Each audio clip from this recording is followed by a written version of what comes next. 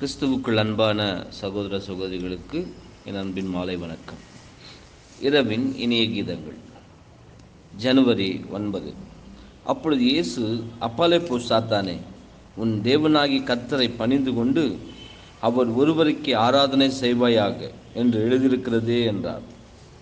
மற்ற நான்கு பத்து.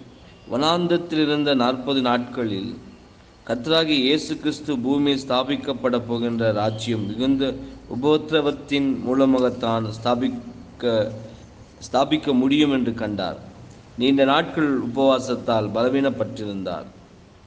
ஆனாலும் தீர்க்க தரிசனத்தின் நுணுக்கங்கள் எல்லாம் அவருடைய மனதிற்கு முன்பாக இருந்தது.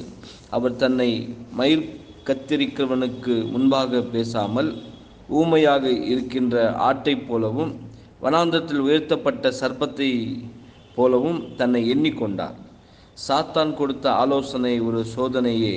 ஆனாலும் அதை சிந்தித்து பார்த்த பொழுது தேவனோடு தான் செய்து கொண்ட உடன்படிக்கையை மீறுகிறதாயும் தேவ சித்தத்துக்கு எதிரடையனா எதிரடையானதுமாக இருக்க கண்டார். எனவே உடனடி உடனடியாக அப்பாலே போ சாத்தானே உன் தேவனாகி கத்தரை பணிந்து கொண்டு அவர் ஒருவருக்கு ஆராதனை செய்வாயாக என்று எழுதியிருக்கிறது என்று பதிலுரைத்தார். அப்பொழுது சாத்தான் அவரை விட்டோடினான்.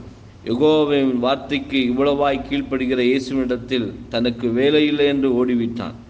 அதன் பிறகு தூதர்கள் வந்து அவருக்கு பணிவிடை செய்தார்கள். இது போலவே நாமும் சோதனை வேளையில் சாத்தானுக்கு எதிர்த்து நிற்போமோயானால் அவன் விலகி ஓடிப்போவான் என்பதே. ஆமேன்.